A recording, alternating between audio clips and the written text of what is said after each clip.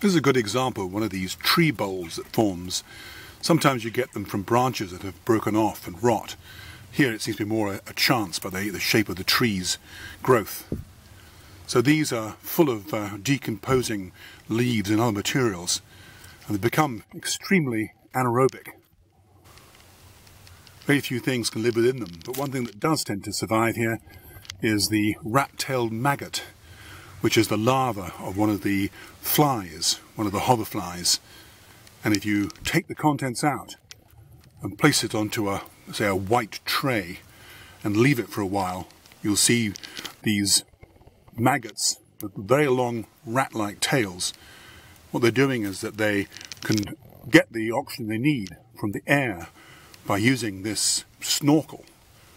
So they can live within this water, which is so unpleasant and lacking in oxygen but they haven't got any predators in there to harm them, and yet they can still survive